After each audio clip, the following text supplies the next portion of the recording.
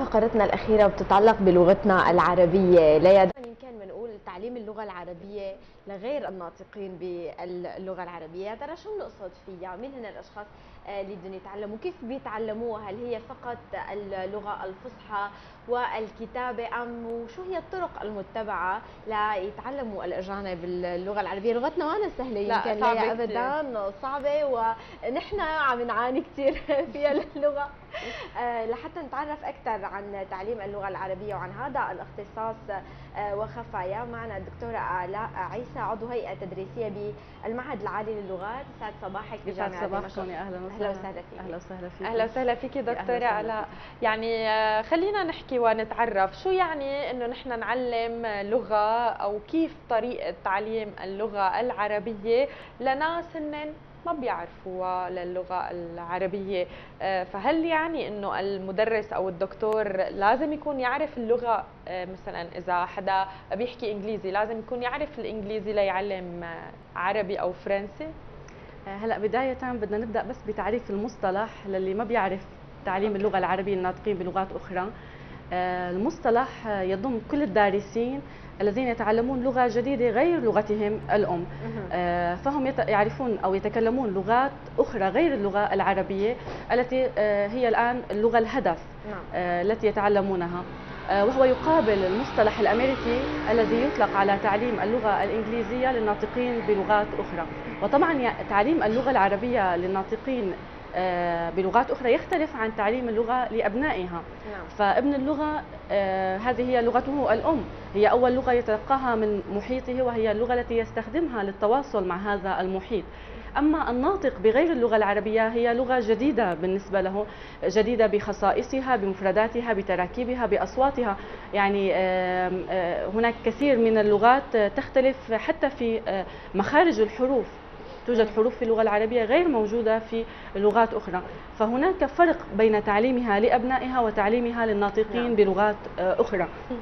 مؤكد أن هناك آه، آه، طرائق وأساليب يتبعها مدرس اللغة العربية مع الناطقين بلغات أخرى تختلف عن تدريس اللغة العربية لأبنائها. نعم. طبعا القاعدة الأكاديمية التي نؤكد عليها أنه ينبغي تدريس اللغة العربية الفصحى.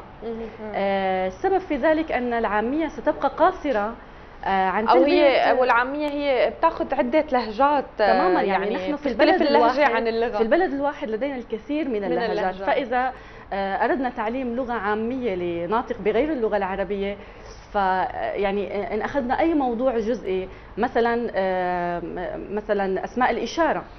إن أردت تدريس هذا الموضوع لناطق بغير اللغة العربية كيف ستقدميه؟ صحيح. يعني يعني في كل محافظة بيقولوا شيء في كل محافظة هناك لهجة نستخدم ألفاظ م...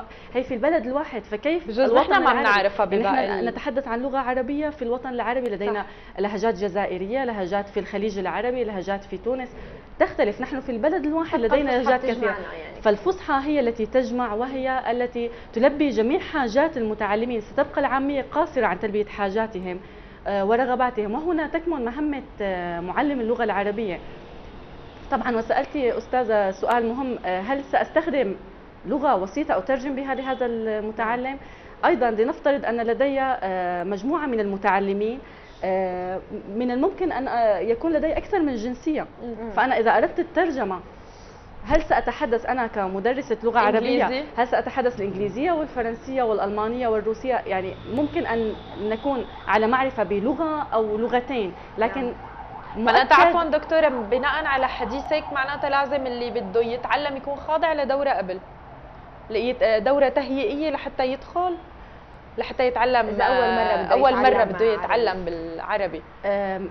يعني هناك كثير من المتعلمين يأتون ليس لديهم أي معرفة أي معرفة وفورا بتحكيهم اللغة العربية نعم الفصحى. القاعدة الأكاديمية الصحيحة استخدام اللغة العربية الفصحى لأن اللغات يعني أنا كمدرسة سأكون قاصره عن معرفة جميع اللغات وترجم ربما لمتعلم لغة إنجليزية ممكن لغة فرنسية لكن إيطالية وروسية وألمانية. ما بتواجهوا يمكن صعوبات بهي هذا الموضوع؟ تجربة قديش بدها مرحلة لحتى يتجاوز المتعلم مرحلة إنه فهم لا شيء لفهم القليل من الشيء. هلا آه، حقيقة أكيد في آه، صعوبات لكن تجربة تعلم اللغات هي تجربة واحدة بكل لغات العالم. يعني عندما يأتي العربي ليتعلم لغة أجنبية إن كانت إنجليزية أو فرنسية يواجه صعوبات في البداية بمعرفة هذه اللغة بالاعتياد على أصوات اللغة. لكن في النهاية ينتقل يعني عندما نبدأ مع المتعلم في المستويات الأولى بتقديم الأحرف عندما نبدأ بالكلمات البسيطة يصبح شيئا فشيئا لديه رصيد لغوي. نبدأ بالمحادثات البسيطة يعني شيئا فشيء من مستوى لاخر يصبح لديه رصيد لغوي مفردات تراكيب يعتاد على أصوات اللغة. فيجتاز الصعوبات مؤكد هناك صعوبات هناك مشكلات يتعرض لها المتعلم إن كانت كتابية أو نحوية أو صرفية يعني اللغة العربية لغة آه، صعبة ليست صحيح. سهلة وغنية وقواعدها كثيرة لكن آه، بالتدريج يعني نبدأ معهم بالتدريج من السهل إلى الصعب من البسيط إلى المعقد من المعروف إلى المجهول يعني شيئا فشيئا نعم. آه، لذلك هناك تأكيد على أهمية إعداد مناهج آه، آه، يعني مبسطة يعني حتى تكون مدروسة يعني على أسس ومعايير صحيحة لتقدم لهؤلاء نعم. الدارسين إن كانت المناهج المقدمة أو المواد الدراسية مدروسة وصحيحة آه، تخفف أو تقلل من هذه المشكلات التي يتعرض لها الطالب الأجنبي. نعم، دكتورة خلينا نحكي بنقطة هلأ كنا كنت حضرتك عم تذكري نقطة إنه يتعود على السمع، يتعود على السمع، فنحن عم نحكي شيء شفهي. آه، تعلم اللغة العربية. ولكن كيف نحن بدنا نعلمهم الكتابة؟ ما زال نحن كل الوقت عم نكرس يمكن الشيء السمعي السمعي السمع. فالكتابة قد إيه بدها تكون بمراحل متقدمة جدا من آه، عملية التدريس أو تقديم اللغة هي عملية متكاملة. كي يكون التدريس ناجح ينبغي أن تقدم المهارات الأربعة اللي هي القراءة الكتابة المحادثة والاستماع. م. تقدم آه، المراحل يعني المهارات الأربعة لكن بالتدريج. م. أيضا يعني في كل مهارة نبدأ فيها بالتدريج. المستوى المبتدئ نبدأ مع الطالب بالأحرف. ممكن نبدأ بالكلمات البسيطة مكونه من حرفين أو ثلاثة أحرف. نبدأ بال آه، حتى قواعديا بالقواعد البسيطة يعني تدريجيا. لكن لا نستطيع مثلا أن نبدأ بمحادثات طويلة أو مفردات صعبة لطالب مستوى مبتدئ. لكن مهارات تقدم متكاملة آه، والطالب شيئا فشيء يصبح لديه رصيد لغوي يصبح قادر. وأنا ذكرت أننا نقدم المهارات لكن آه، لم أقل أننا نركز فقط على الاستماع. لكن ذكرت الفكرة أننا عندما نتحدث بالبداية اللغة الفصحى يعتاد على أصوات اللغة. لكن نحن لا نركز على مهارة دون أخرى. التدريس الناجح يجب أن آه، يتم بتقديم المهارات الأربعة اللي الأربعة متكاملة. القواعد القواعد هل تدرس أيضا قواعد اللغة العربية للناطقين بغير اللغة العربية؟ وإنما أنتم بتركزوا على موضوع أنه هو المهم يتعلم فكرة اللغة بداية. آه القواعد طبعا تقدم آه لكن المدرس آه هو الذي يقرر الموضوعات المناسبة للمستوى الذي يقدم في هذا هذه القواعد. مثلا هناك قواعد تقدم للمستوى المبتدئ تختلف عن القواعد التي تقدم للمستوى المتوسط وتختلف أيضا عن القواعد التي تقدم للمستوى المتقدم. يعني نبدأ معهم بالتدريج. ممكن أنا بالمستوى المبتدئ آه، أقدم أسماء الإشارة بعض الضمائر. أيضا تقدم لا تقدم دفعة واحدة تقدم بالتدريج. وحسب حاجة المتعلم المناهج الحديثة آه، تركز على المتعلم. المتعلم هو محور الاهتمام. آه، وليس المعلم كما كان سابقا يعني. فنحن نركز على حاجاتهم ميولهم. وكدارس أجنبي أنا لا أقدم له قواعد لا يحتاجها صح. لن يستخدمها لأنها ستسبب نفور من اللغة. يعني اللغة العربية بحر, بحر من, القواعد. من القواعد. طبعا القواعد صعبة. فأنا لا أقدم للدارس قواعد لن يستخدمها ليس بحاجتها. آه، نبحث بحاجات المتعلم ورغباته ونقدم له ما يحتاجه وبطرائق آه، مبسطة وتتناسب مع مستواه. عندما تقدم بطرائق صحيحة ومتناسبة مع المستوى لن يشعر بصعوبة اللغة. نعم. وطبعا التدريبات التي تترافق مع هذه القواعد يعني هي ستسهل استخدامها. ستسهل عليه توظيفها في المواقف الاتصالية في الحياة عندما يتواصل سيستخدمها بشكل صحيح. نعم.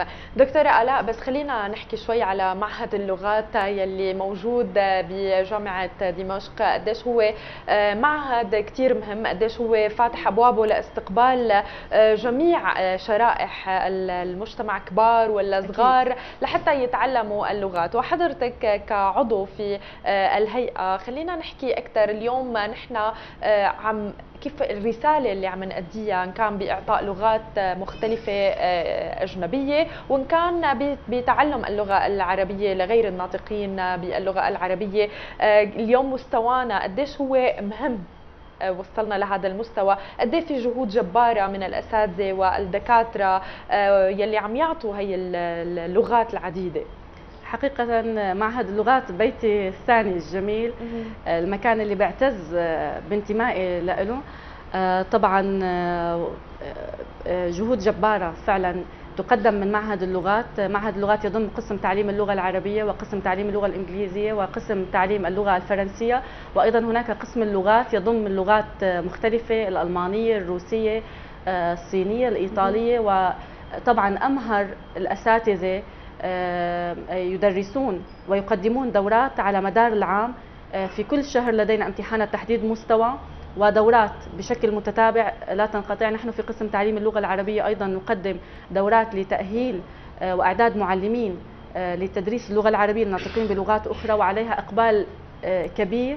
وهناك أيضا دورات في التدقيق اللغوي ودورات في تطوير المهارات اللغوية لأبناء اللغة. يعني ممكن في كثير من أبناء اللغة يرغبون بتطوير معارفهم اللغوية في اللغة. هذه لغتنا الأم ونعتز بها وينبغي يعني أن نكون على مستوى. ثغرات كلياتنا بموضوع اللغة العربية أكيد لأنه أكيد. ما عم نطلع من المدارس لنكون واقعيين بانه نحن أخذين كل شيء باللغة طبعا. العربية. هي فعلا بحر هذه الدورات التي تقدم تساعد بالجامعات عم تكون مختلفة صحيح. والواحد إجباري بده لغته يهتم فيها خصوصا يمكن حتى المتعلمين اللي دارسين أدب إنجليزي أو فرنسي آداب هن كمان بحاجة للغة طبعًا. العربية بموضوع الترجمة طبعًا. كمان أكيد هناك إقبال كبير وميزة قسم تعليم اللغة العربية أنه يدرس ماجستير أكاديمي ويستطيع المتعلم أن يتابع الدكتوراه وهذا الماجستير يستقبل طلبة من كافة الاختصاصات وهذه ميزة جميلة جدا. يعني لدينا طلبة كلية صيدلة درسوا في ماجستير تعليم اللغة العربية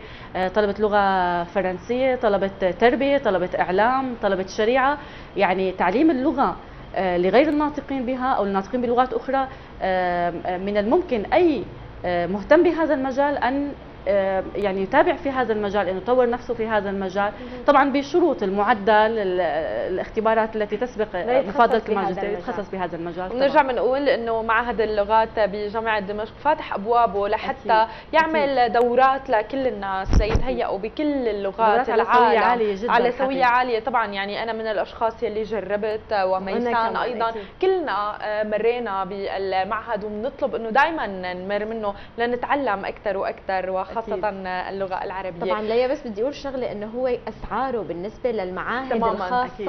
أكيد. هي جدا رمزية, رمزية تعتبر لأنه صحيح. المعاهد الخاصة عم تكون أسعارها كثير غالية والكتب اللي عم تتقدم هي بذات المستوى صحيح بذات المستوى والأساتذة الموجودين هن بمستوى جدا أنا بدي أكد على فكرة سوية الأساتذة يعني أمهر الأساتذة هم من يدرسون في معهد اللغات. يعني تقدم دورات فعلا على مستوى عالي وبأسعار رمزية جدا جدا, جدا. لا تقارن بالمعاهد يعني نحن عم نحكي عن تجربة. أكيد. دكتورة الاء أكيد وحضرتك مثال للدكتورة المتفوقة يلي عم تعطي من قلبها. نحن كثير بدنا نتشكرك دكتورة الاء عيسى وبدنا نتمنى لك مزيد من النجاح وشكرا كثير لك لأنه دائما السيدة السورية مثبته حالها بجميع مجالات الحياة. تسلمي لي شكرا جزيلا لكم. شكرا اللقاء الجميل وموفقة يا رب. ونتمنى لكم كل التوفيق و... وأكيد المزيد من التألق لكل الدكاترة السوريين وجامعاتنا السورية.